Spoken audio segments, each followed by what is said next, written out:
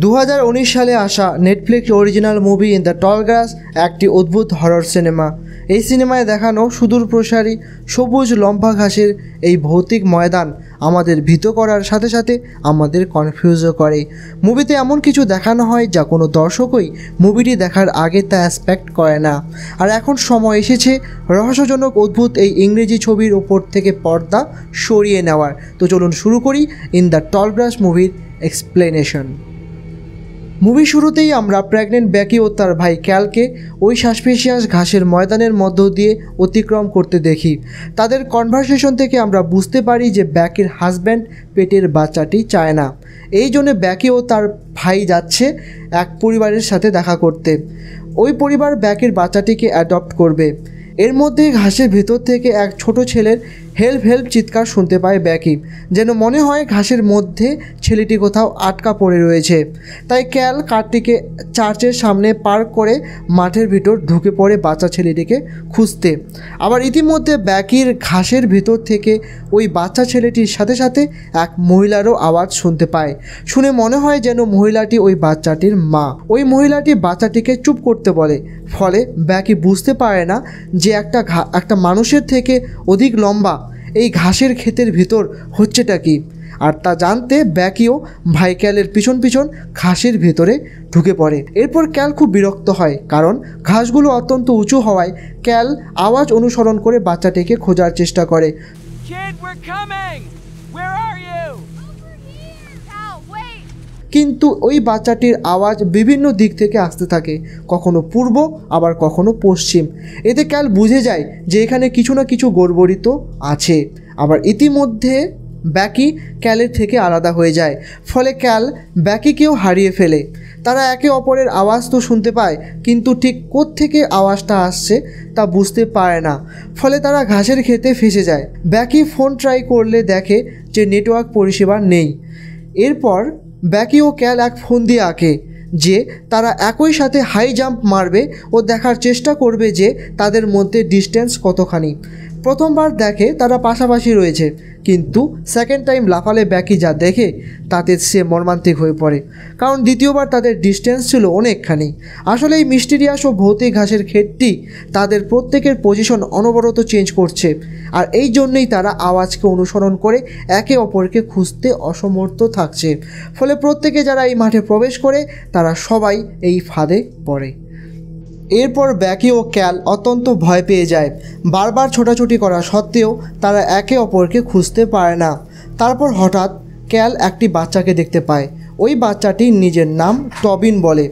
আর Tobin হলো সেই বাচ্চাটি যার হেল্প হেল্প চিৎকার শুনে ক্যাল ও ব্যাকি এই খেতে ঢুকেছিল। টবিন নামে এই বাচ্চাটি আদব কায়দা ও কথা বলার ভঙ্গি ক্যালের অদ্ভুত লাগে। একটু আগেই টবিন যেখানে হেল্প হেল্প চিৎকার করছিল কিন্তু এখন তার কথা থেকে মনে হয় যে সে বহুদিন ধরে এই ক্ষেতে আটকে আছে ও তার কোনো উদ্দেশ্য নেই এখান থেকে বের হওয়ার। আর ভয়ানক ক্ষেতের ব্যাপারে সে অনেক কিছু জানে। টবিন ব্যাকিকে খোঁজার অজুহাতে ক্যালকে ভয়ানক দেখতে একটি পাথরের কাছে নিয়ে যায় এবং তাকে বারবার পাথরটিকে টাচ করতে বলে। ক্যাল পাথরটিকে টাচ করতেই যাচ্ছিল, ইতিমধ্যে ব্যাকের আর্তনাদ চিৎকার শোনা যায় আর ক্যাল আওয়াজকে অনুসরণ করে দৌড়তে লাগে। আর টবিন বলে যে সে এইভাবে কখনোই ব্যাকিকে খুঁজতে পারবে না। এরপর দেখানো হয় ব্যাকির হাজব্যান্ড ট্রাভিস। প্রায় দু সপ্তাহ পর নিখোঁজ ব্যাকি ও তার ভাই ক্যালের সন্ধানে বের হয়। চার্চে রাখা ক্যালের গাড়িটা দেখে ট্রাভিস তাদের আশেপাশে খুঁজতে থাকে। প্রথমে ওই নির্জন চার্চটার ভিতর ঢুকে। এখানে আজব বিষয় হলো এই যে চার্চের ভিতর কোনো যীশুখ্রিস্টের ক্রস নেই। আসলে এটি কোনো খ্রিস্টান চার্চ নয়। বিলবোর্ডে লেখা রয়েছে এটি হলো ব্ল্যাক রক চার্চ। এখানে ব্ল্যাক রক বলতে ওই কালো ভয়ানক পাথরটিকে বোঝানো হয়েছে। এই কালো পাথরটি অ্যাকচুয়ালি কী? তা আমরা মুভির একদম অন্তিমেই জানব। এরপর রাস্তার ধারে পড়ে থাকা ব্যাকের একটি বুক দেখে ট্রাভিস অনুমান করে ঘাসের খেতে ঢুকে পড়ে। চলতে চলতে ট্রাভিস অনুভব করে যে তার মাথার ওপর থাকা সূর্যের অবস্থান ক্রমাগত পরিবর্তন হচ্ছে। এতে ট্রাভিস তীব্র ভয় পেয়ে যায়। তারপর তার দেখা হয় টবিনের সাথে। টবিন জানায় যে এই বিরাট মাঠের মধ্যে তাদের মতো বহু লোক আটকে রয়েছে। কিন্তু এই ভুতুরে ঘাসগুলো তাদের আলাদা করে রেখেছে। টবিন ট্রাভিসকে চেনে এবং তার নামও জানে, ফলে ট্রাভিস অবাক হয় যে অদ্ভুত এই বাচ্চাটি তার নাম জানলো কীভাবে। টবিন এও বলে যে, এই ময়দান তাদের অবস্থান প্রতিনিয়ত পরিবর্তন করলেও কোনো মৃত জীবের অবস্থান চেঞ্জ করে না। টবিন ট্রাভিসকে তার হারিয়ে যাওয়া ওয়াই ব্যাকির কাছে নিয়ে যায়। সেখানে ট্রাভিস গিয়ে দেখে অনেক দিন আগেই ব্যাকি মারা গেছে। ব্যাকির মৃত শরীর দেখে ট্রাভিস খুব কাঁদে। আর ইতিমধ্যে টবিন সেখান থেকে চলে যায়। ট্রাভিস জানে যে এখন তাকে এখান থেকে বেরোতে টবিনের সাহায্য লাগবে। তাই পরদিন সকালে ট্রাভিস টবিন টবিন বলে চিৎকার করে। আর ঠিক সেই সময় রাস্তায় উপস্থিত থাকে রস ও তার ফ্যামিলি। এবং তাজ্জবের বিষয় হলো এই যে রসের বাচ্চা ছেলেটার নাম হলো টবিন। একটু আগেই আমরা যে টবিনকে দেখেছিলাম, সে আর কেউ নয়, সে হলো এই টবিনের পাস্ট রূপ। আসলে এখানে সময় সরলরৈখিক নয়, সময় এখানে বৃত্তাকার তথা এক লুপ আকারে রয়েছে। বাচ্চা টবিনের হেল্প হেল্প শুনে ব্যাকি ও ক্যাল মাঠে ঢুকে। নিখোঁজ ব্যাকি ও ক্যালকে খুঁজতে দুই সপ্তাহ পর ট্রাভিস ঘাসে ঢুকে। আবার ট্রাভিসের টবিন টবিন চিৎকার, টবিন ও তার পরিবারকে বাধ্য করে ঘাসের ভিতর ঢুকতে। আর এখানে এটাও বলা যাবে না অ্যাট দ্য ফার্স্ট এই ঘাসের খেতে প্রথমবার ঢুকেছিল কে? পরে যখন ট্রাভিস বুঝতে পারে যে কেউ তো রাস্তায় আছে যারা ঘাসে ঢুকতেছে, তাই ট্রাভিস প্রাণপণে চিৎকার করে বলে যে ঘাসে ঢুকো না। কিন্তু তবুও রসের ডগ, ছেলে টবিন ও তার ওয়াইফের সাথে সাথে সেও ঢুকে পড়ে, আর প্রত্যেকের মতো তারাও আলাদা আলাদা হয়ে যায়। রস খুব চেষ্টা করে ছেলে ও স্ত্রীকে খুঁজতে, কিন্তু অসমর্থ থাকে। খুঁজতে খুঁজতে রসের ওই ব্ল্যাক রকটি চোখে পড়ে। পরদিন সকালে রাস্তায় ব্যাকি ও ক্যালের গাড়ির আওয়াজ পেয়ে ভীত টবিন হেল্প হেল্প বলে চিৎকার করে। এখানে লক্ষ্য করার বিষয় হলো এই যে টবিন আগের টবিন নয়, আগের টবিন বহুদিন ধরে এখানে আটকে থাকায় অনেক কিছু জানতো, কিন্তু এই টবিনের আশা কেবলমাত্র একদিনই হয়েছে। আর এবারও আগের বারের মতোই ব্যাকি ও ক্যাল উভয়ই ঘাসে ঢুকে পড়ে। কিন্তু এইবার একটু ডিফারেন্ট হয়। ট্রাভিস, ব্যাকি, ক্যাল ও টবিনের চিৎকার শুনতে পায়। প্রথমত ট্রাভিস চমকে যায়, ব্যাকির আওয়াজ শুনে। এ যদি ব্যাকি হয়, তবে একটু আগেই যাকে মৃত ভেবেছিল, তাহলে সে কে? এতে ট্রাভিস খুব বিভ্রান্ত হয়। এরপর টবিন চিৎকার করে এও জানায় যে, তার ডগটি মরে পড়ে আছে। ট্রাভিস, ট্রাভিসের মনে পড়ে যে আগের টবিন তাকে বলেছিল যে, ঘাস মৃত বস্তুদের অবস্থান পরিবর্তন করে না।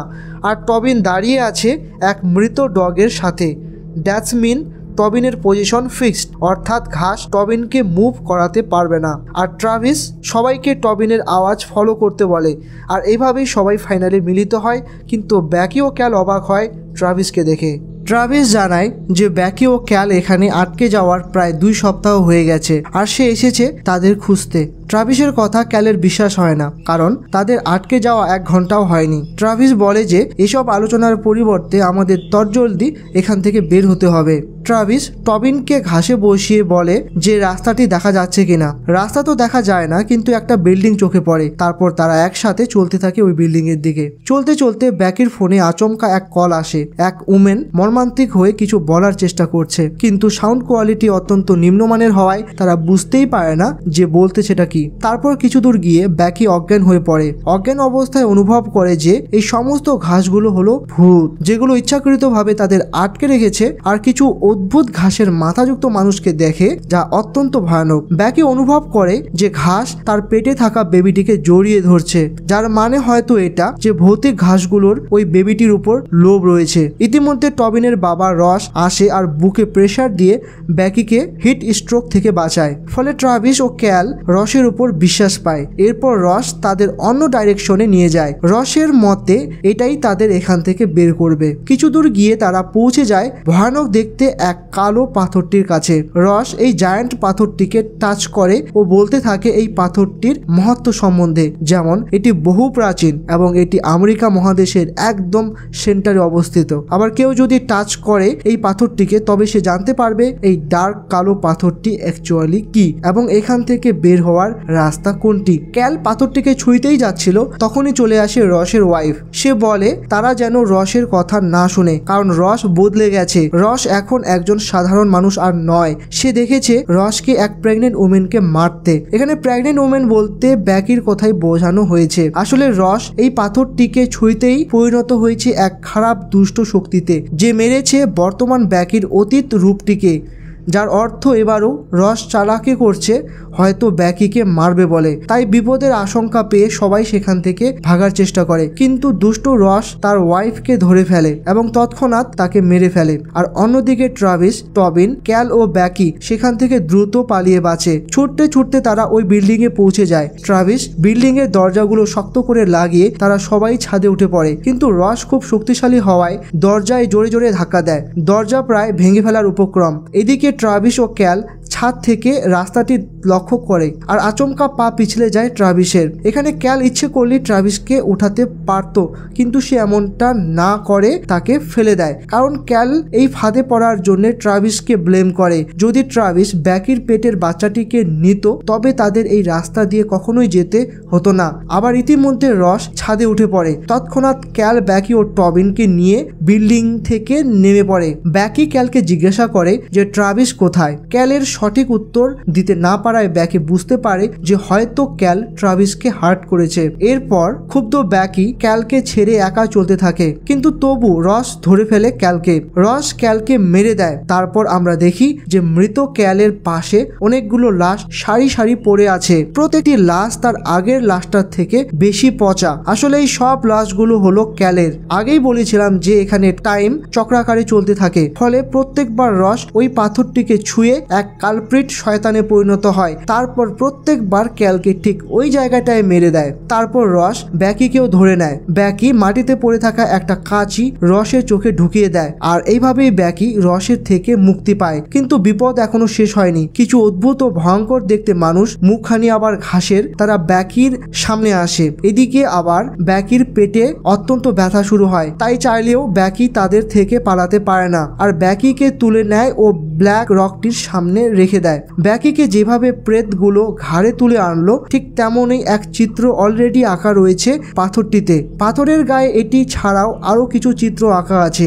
একটি চিত্র থাকে মায়ের বাচ্চা প্রসবের। ও আরেকটি চিত্র থাকে যেখানে মা তার নবজাত শিশুকে কেটে ফেলছে।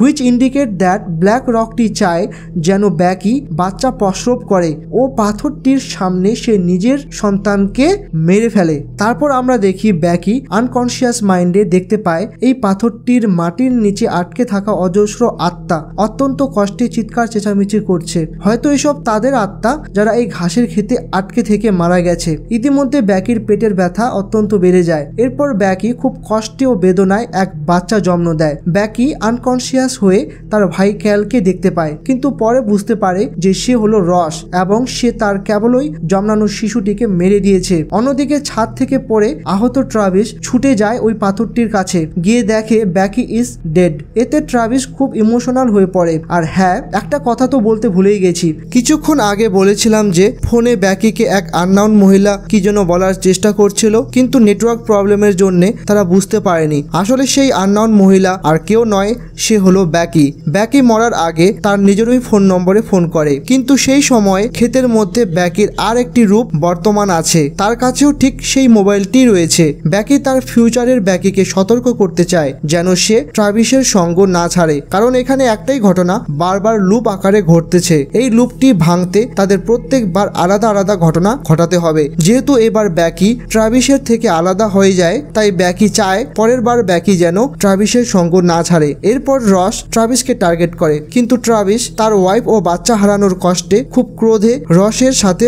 ফাইট শুরু করে আর ফাইনালি রসকে মেরে দেয়। এবার ট্রাভিস তার ওয়াইফ ও বাচ্চা হারায়। কিন্তু এই ঘটনা যেন বারবার রিপিট না হয়, তাই ট্রাভিস ওই পাথরটিকে টাচ করে। আবার ইতিমধ্যে টবিন আসে ও ও ট্রাভিসকে বাধা দেয় পাথরটিকে ছুঁইতে কারণ তার বাবা রস এই পাথরটিকে ছুঁয়েই ডেভিলে পরিণত হয়েছিল। কিন্তু ট্রাভিসের বেলা এমনটা হয় না। এর কারণ হয়তো ট্রাভিস অত্যন্ত আহত ছিল। ট্রাভিস পাথরকে টাচ করতেই ক্ষেতের সমস্ত গোপন রাস্তা জেনে যায়। টবিনকে এক গোপন রাস্তা দিয়ে এই ভৌতিক মাঠ থেকে বের করে। কিন্তু ট্রাভিস এই মাঠ থেকে বের হতে পারবে না। কারণ যারা এই পাথরটিকে টাচ করে তারা চিরজীবন এই পাথরটির গোলামি করতে থাকবে। আর ফাইনালি এই ঘাসের মাঠটা থেকে বের হতেই দেখে যে ব্যাকি ও ক্যাল প্রায় উপক্রম নিচ্ছে ঘাসে ঢুকার। টবিন দৌড়ে গিয়ে তাদের ঘাসে ঢুকতে নিষেধ করে। টবিন ব্যাকিকে মৃত ব্যাকির একটি লকেট দেখায়, যেটা হুবহু সেম দেখতে বর্তমান ব্যাকি ব্যাকির কাছে থাকা লকেটের সাথে। ব্যাকি কনভিন্স হয় ও তারা ঘাসে ইন্টার করার পরিবর্তে যায় পুলিশ স্টেশনে। আর এভাবেই ফাইনালি এই লুক ক্লোজ হয়। যেহেতু ব্যাকি ও ক্যাল ঘাসে ইন্টার করল না, ফলে তারা আর নিখোঁজ হবে না। ট্রাভিসও এখানে খুঁজতে আসবে না। ফলে ট্রাভিস টবিন টবিন চিৎকারও করবে না, আর এর ফলে টবিনের পরিবারও এই ঘাসের খেতে ফেসে যাবে না। এটা ছিল Netflix original movie in the tall গ্রাসের explanation পরবর্তী মুভি যেটা আমরা এক্সপ্লেন করব, সেটার নাম হলো টেন ক্লোভারফিল্ড লেন